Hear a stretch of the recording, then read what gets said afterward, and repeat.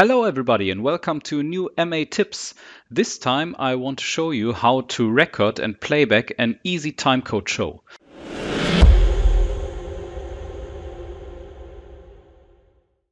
What you can see over here is the timecode view and timecode pool.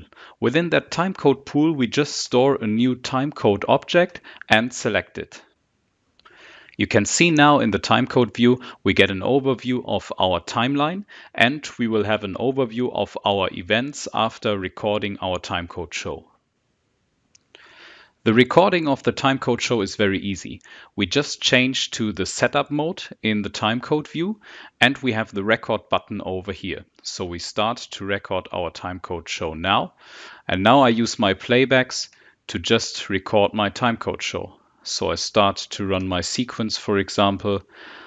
I use a different sequence for my stair bumps. You can see this.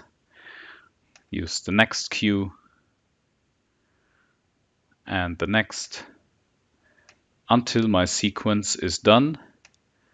I go to off the sequence and then stop the recording of my timecode show. Let's have a short look at the timecode view, what we can see here. I can see my track group number one, and we used the two sequences, which is the main sequence and the stair bumps.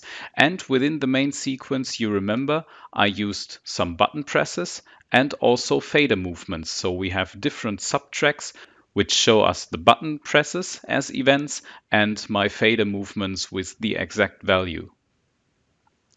So now I just have to go back to the beginning of my timeline and then we press play in the internal timecode generator and my timecode show is played back. You can see in the timecode object and you can see that my sequence is running automatically in 3D with all the events I just recorded.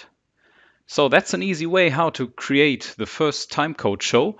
In the next MA tips video, we will have a look at more nice features within that timecode in GrandMA 3. So stay tuned and see you next time for the MA tips.